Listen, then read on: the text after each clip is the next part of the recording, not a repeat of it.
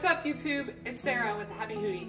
And I'm here today to show you this great tool that I got and I've had it for about six months now and I am in love. It is a heating pad and it is huge.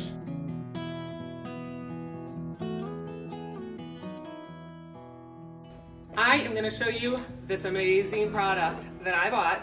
It is the UTK infrared heating pad. It's got these stones in here that heat up with controlled temperatures.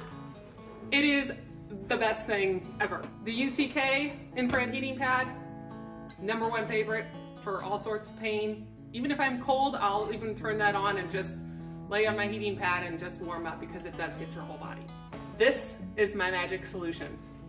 My massage therapist actually recommended this because of the stones in here and the infrared heating. The infrared heating actually allows it to go deeper into your skin to where it doesn't actually get down to the muscle. So it doesn't actually just heat up your skin and make you feel nice inside. This actually gets down to the muscle and helps loosen it with this infrared heating and helps take away some of those aches and pains that we all have. For me, my aches and pains are in my back. So I use this on my back at least once a day. I'll sit down on the chair for 20 minutes, turn on my heating pad, and I'm good to go.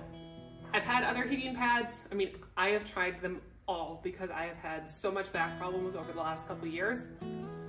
This is the winner, hands down. I've had the standard, you know, sunbeam versions that you plug in and you turn it up on high, but it gets so hot it starts burning your skin and then the pain relief doesn't really seem to stick with you as well because it's only hitting that surface of your skin. Where this, with the infrared heat, it goes down much deeper into the layers to where you're into the muscles and then it helps break that up. A lot of times I'll sit on the heating pad and then I'll stretch afterwards just because it makes it feel so much better. What makes this UTK infrared pad so much better than the others? Besides the infrared heat, of course, it's huge. Uh, I've had other versions. Uh, I had the small version and it just wasn't big enough for me. This little plug got in the way when I was sitting and it was just uncomfortable and I felt like I was always adjusting. It wasn't hitting my whole back and I like to just kind of lay on it. So I went and got the medium pro version and it's a 31 by 21. So it's just enough to be all around my spine and around the sides, around my whole back. So I absolutely love this size. Another way I love this is this remote. This is a temperature controlled system. So how I said like the sunbeam, sunbeam version has, you turn it on and it's just on. It will continue to get hot and hot and hot. Sometimes it doesn't work. Sometimes it takes forever. This thing is temperature controlled, so I can tell it I want it set on 125 degrees it will get there and it will stay there until told otherwise. Super simple, you just turn it on right away, you hit the little on button, and they've got a temperature up and down on this keyboard.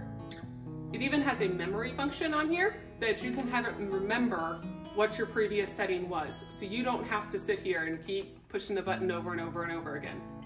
I can just hit memory and it goes straight to that button.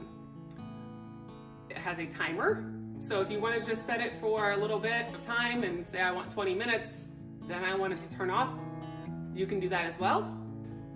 Be warned, might fall asleep because it's fantastic. The other thing about it is you can take it with you. Uh, it's, it is large, but it does consolidate down. It folds real nice, folds easy. So you just roll it up like this, and you take this little strap that's attached to it, you pull it around here.